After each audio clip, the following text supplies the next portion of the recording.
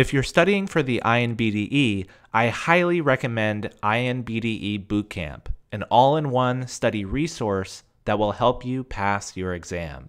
Use coupon code MENTALDENTAL for 10% off. Hey everyone, Dr. Ryan here, and welcome back to our oral diagnosis series. Let's continue with developmental anomalies involving the salivary glands. Salivary glands develop from ectodermal tissue at around six weeks in utero. Unfortunately, things can and do go wrong with formation of the salivary glands during embryogenesis. Salivary gland aplasia or agenesis is the congenital absence of salivary glands.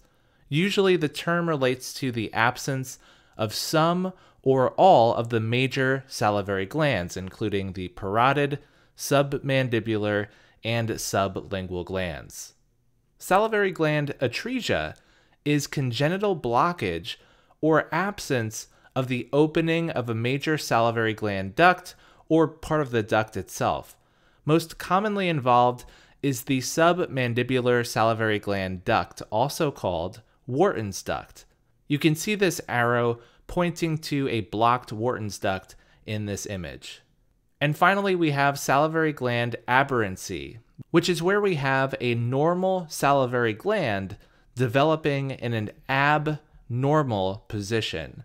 For example, ectopic salivary gland tissue could develop on a palatine tonsil, like we see the arrow pointing to in this image. Next, I want to talk about Sjogren's syndrome, which is frequently asked about on the board exam. This is an autoimmune condition, which means the body's immune system malfunctions and mistakes its own healthy tissue as pathogenic and attacks it. This immune response is mediated by lymphocytes, which is extremely important to remember. Sjogren's patients have, generally speaking, more aggressive lymphocytes, which means they're also at a higher risk of developing lymphatic cancer, also called lymphoma. Sjogren's syndrome involves lymphocytes flooding in, infiltrating, and destroying the lacrimal glands in the eyes and the salivary glands in the mouth.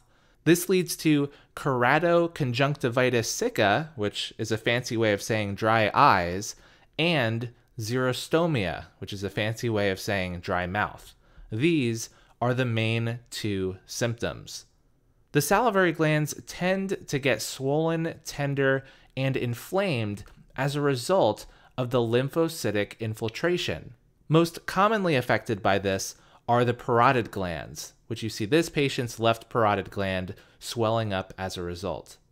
Sjogren's syndrome can be classified into two main categories.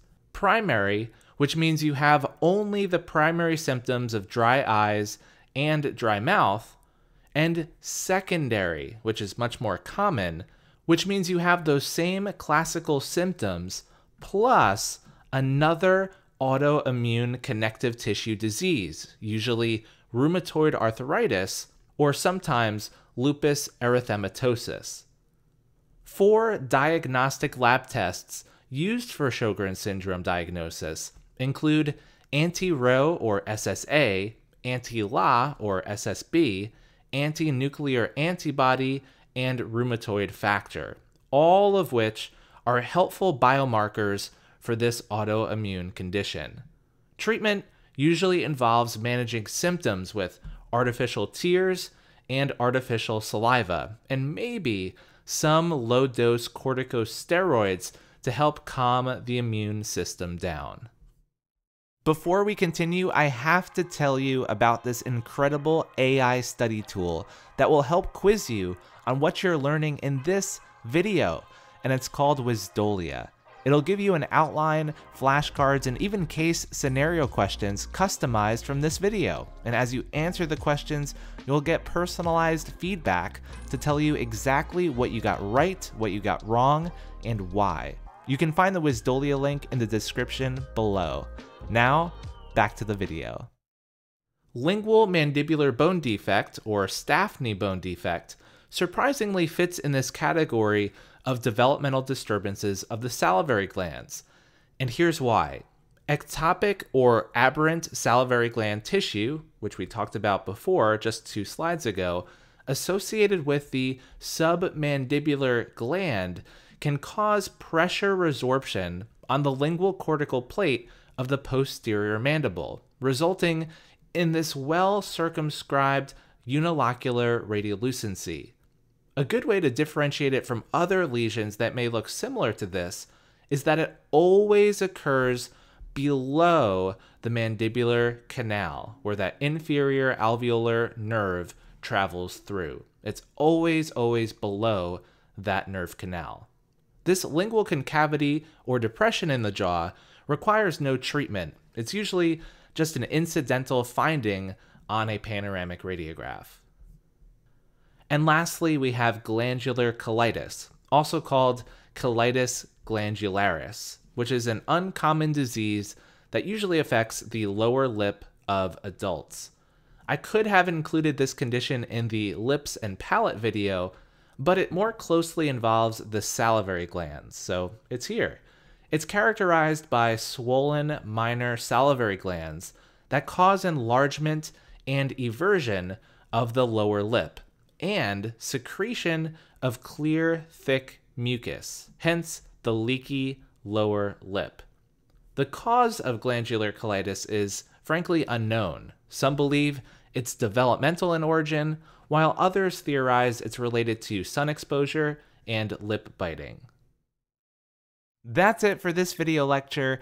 Thank you so much for watching. I genuinely appreciate it.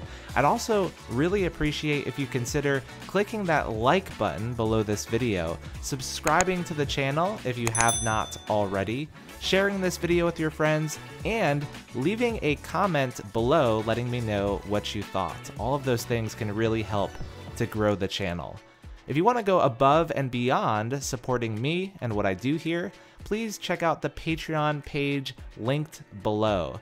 If you want to join there, you'll get access to exclusive practice questions, exclusive study guides, a Discord server, and so, so much more. And if you see at the end of my videos, I have an end credits screen, and all of those names there are the names of my amazing Patreon supporters that I'm honored to have. Thank you again for watching, and I'll see you in the next video.